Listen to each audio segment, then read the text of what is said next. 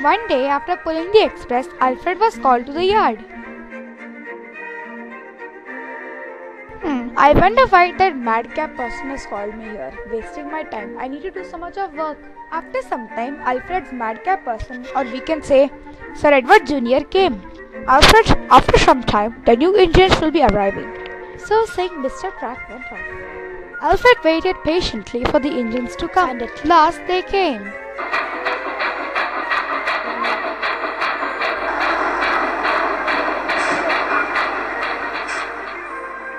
Hello, we have arrived. How are you? I am fine. I am Alfred. But before they could get on with the conversation, the diesels, or the villains, we can say, came.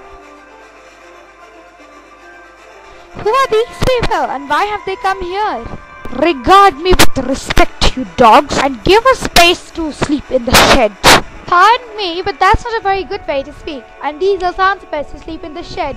Hello, Alfred. Who are these jokers and what are they doing near our sheds? And what do you want? asked the diesels. Excuse me, but we stay here. Yes, it is true. All the diesels must go and stay in the white leaf sheds. Okay, okay, we're going. The diesels disappeared. Hello, Alfred. How are you? Oh, you both are back. I'm so happy. Hey, you two. Come here. I want to talk to you. Yeah, here we've come. Where are we to go? Hey, you diesel, good or bad, you must go and sleep at the white leaf sheds. So the new diesel went off, and all the steam engines went inside the sheds.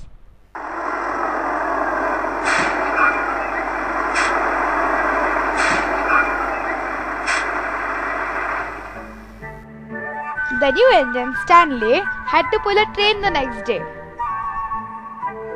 Wilbert came to greet him. Hi, Stanley. Go slowly and carefully. Bye.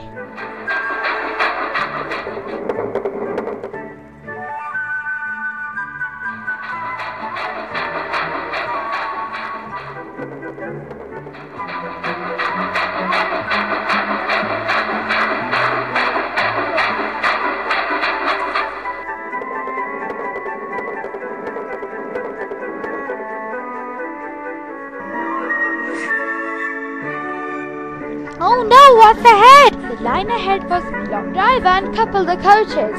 The coaches were uncoupled, but Stanley kept on going ahead. The strangest part was that when he reached the buffers, he disappeared.